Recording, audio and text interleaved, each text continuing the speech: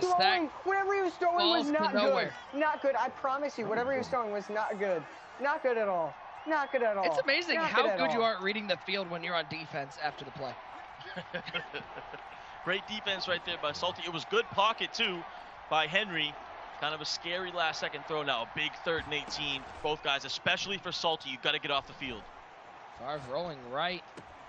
Throwing back across the middle. Madden 20. Short. Stand up. The delay fade is still around.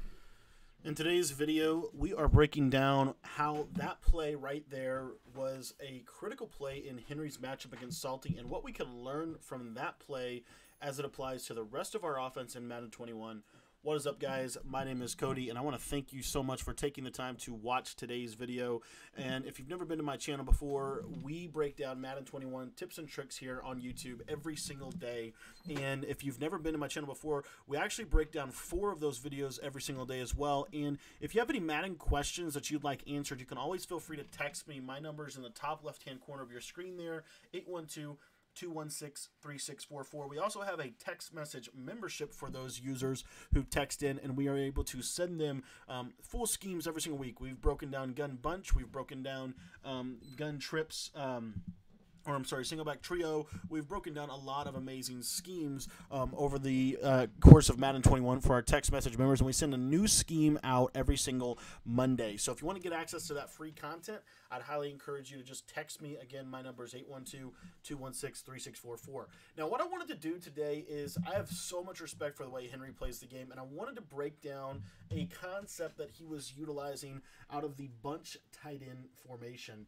And Salty was running big nickel over G, and in this exact example, um, I think he was actually running zone, but this can work against man coverage, and it can also work against zone coverage. So what I'm going to do is just set up my big nickel over G defense here, and I'm going to come out in um, man coverage first because I think man coverage is going to do a little bit better of a job, and then we're going to go through some zone coverage concepts as well that you're going to see this just absolutely torch. Now, you saw that Henry audibled over into the play. Uh, P- PA boot over from the bunch tight end. Now, this is a special little play this year especially um, the way that Henry has the setup um, for this play. Now, if you if you don't know, this is in the Seattle Seahawks offensive playbook. That's the playbook that Henry was in um, for this uh, this championship uh, final matchup here. So uh, I'm going to show you a gun bunch tight end, PA boot over, and show you the setup.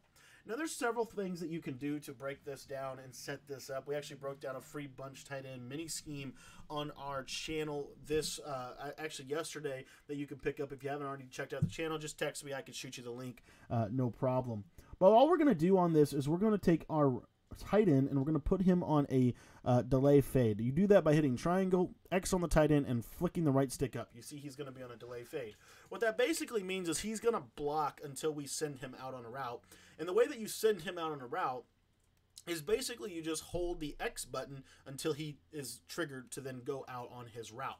Now, what Henry liked to do out of this basically is just smart route this left of screen post route. And essentially, what's going to happen is all of this action to the right side of the screen is going to get Salty's user to basically follow, and then he is actually going to release the delay fade. And what you're going to notice in man coverage is one of the keys with this is to roll out of the pocket. That's why I got Patrick Mahomes. The Chiefs are perfect for this in regs, but if you're playing MUT and you don't have an escape artist, then all you have to do is just slide over. Uh, slide over in the pocket. And really, what I like to do is double team that defensive end just to get a little extra extra blocking on here. Another thing you could do if you wanted to is you could try to get a cut block with your running back by blocking him. Sometimes you just leave that play action on there as well, but we're just going to show you uh, how to do that. So what I'm doing to get the cut block is I'm double teaming that right of screen um, defensive tackle and kind of anticipating a four down man or three down lineman rush. You really don't want to do this against the blitz, even though it does work against the blitz, but it's primarily really really good against a, um, a max coverage defense.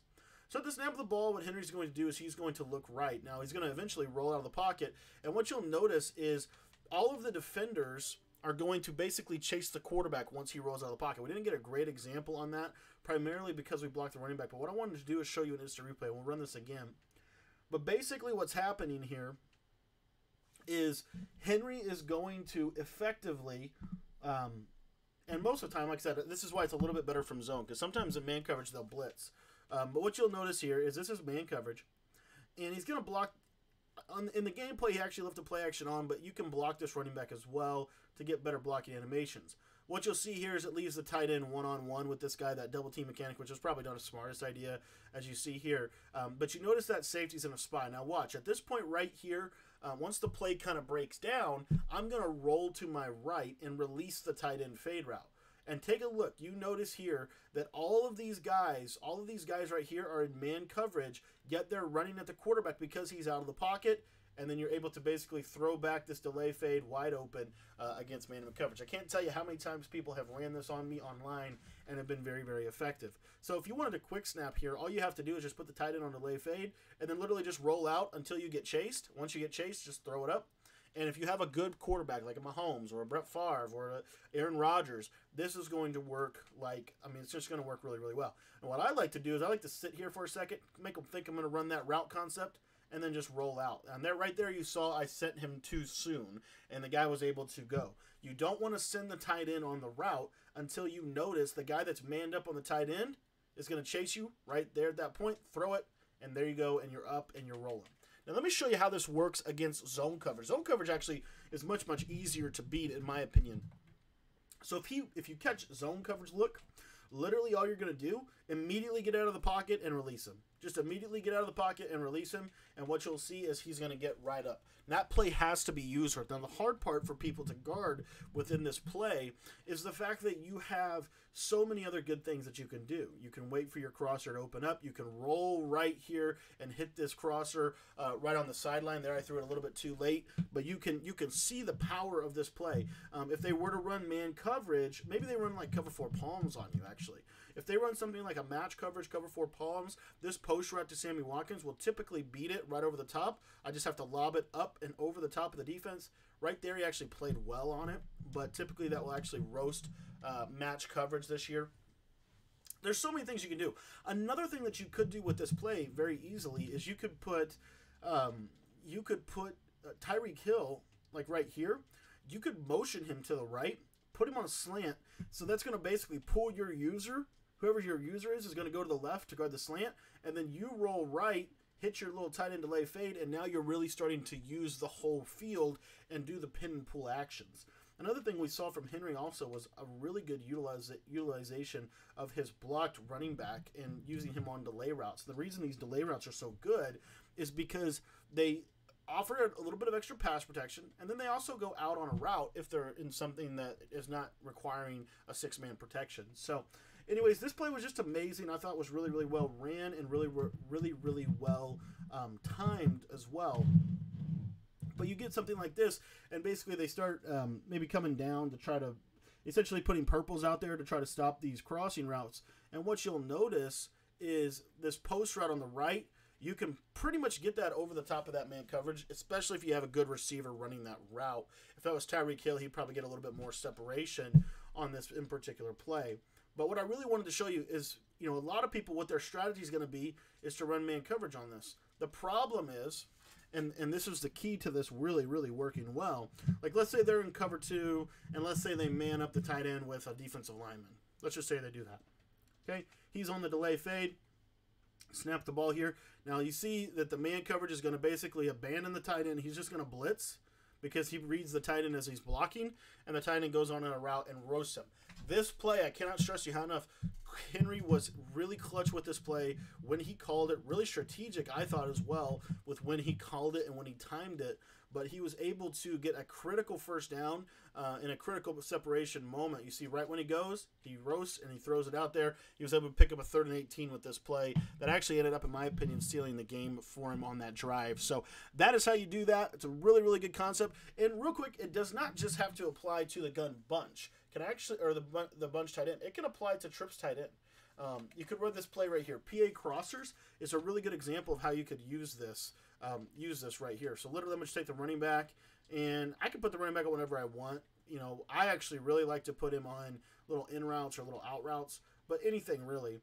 And what you'll notice is the same concept is going to apply. You're going to roll out of the pocket. He's going to get chased. You release him. He goes. And as you can see, it's a big gainer. Really, really effective at a trips tight end and bunch tight end just because the tight end's on the solo side, which kind of they typically will forget about the tight end. When you do something like that. But overall, I thought that was just a great concept. Wanted to break that down for you. Now, guys, we will be live streaming tonight at 8 o'clock p.m. Eastern or 10 o'clock p.m. Eastern. Our next video will be up at 8 o'clock p.m. Eastern. And if you did not know, we actually have a full ebook out right now that you can pick up. It's my full Arizona Cardinals offensive ebook and my full 46 uh, defensive playbook. Um, that guide is really, really good. Over 125 pages of breakdown. And if you have not already picked up that guide, I would highly encourage you to do that.